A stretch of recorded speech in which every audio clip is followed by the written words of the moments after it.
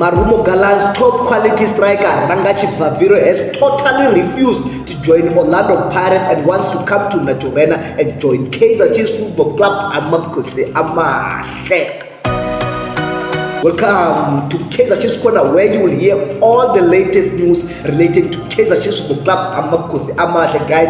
Rangachi Vaviro's transfer saga has been one of the most talked about and bizarre story of the off-season thus far but it appears to coming to an end as he want to come to Naturena Village. So Chivaviro is wanted by Kaiser Chiefs Football Club as well as our rivals Orlando Pirates but guess what the player has chosen to join Kaiser Chiefs Football Club. Chivaviro joined Marumo Gallants at the start of last season after impressing then head coach Romain Folz on trial and was signed as a backup option for Sede Dion, the striker of Marumo Gallants. It was a lifeline uh, for the player who has just been released by Venda Football Academy by that time and his career looking to be on the rocks. While he initially didn't get much game time, things turned around mid-season and he went on to score 17 goals in all competitions, which included 7 in the CAF Confederations Cup in their run towards the semi-final of the competition where they lost to um, Young Africans of Fiston Mayele. But Marumo Gallants chairman Abraham Sello had already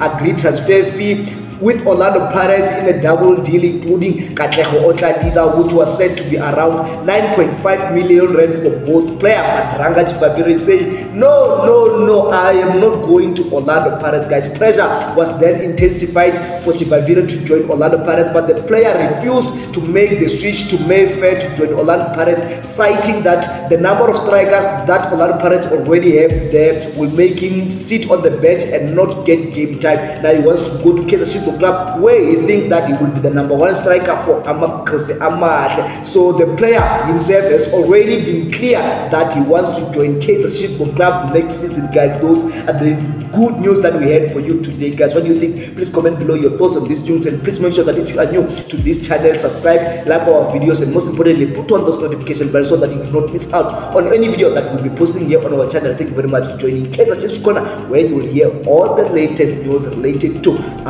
sự âm mà kẹt kẹt kẹt kẹt